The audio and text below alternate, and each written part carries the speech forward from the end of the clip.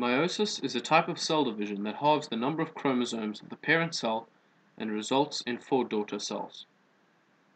Prophase 1. Chromosomes in the nucleus shorten to become visible as two chromatids joined by a centromere. The homologous pairs of chromosomes are now visible. The nuclear membrane and the nucleolus then start to disappear, and the homologous chromosomes pair to make bivalents. Adjacent chromatids from each homologous pair touch. This point is called the chiasma.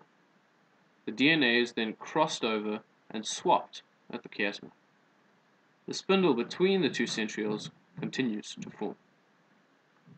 In metaphase 1, the spindle fibers extend across the whole cell as the homologous chromosomes line up along the equator of the spindle in their homologous pairs. One chromosome from each pair lies on either side of the equator. The centromere of each chromosome attaches to the spindle fibers. In anaphase 1, the spindle fibers shorten and pull each of the chromosomes of the bivalent pair toward opposite poles of the cell. In telophase 1, the chromosomes have now reached the poles of the cell, and so each pole has half the number of chromosomes present in the original cell. The cell membrane constricts and divides the cytoplasm in half to form two new cells. Each cell formed during meiosis 1 will now divide again in much the same way.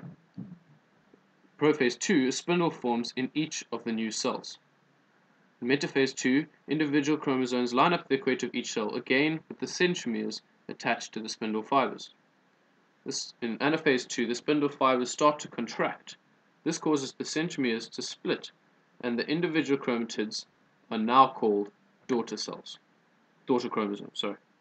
They are pulled to the opposite poles of each cell.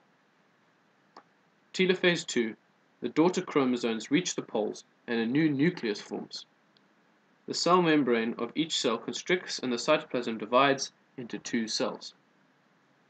Four haploid daughter cells are formed from the original individual cell, each varying in their genetic information, as well as only having half the number of the original number of chromosomes.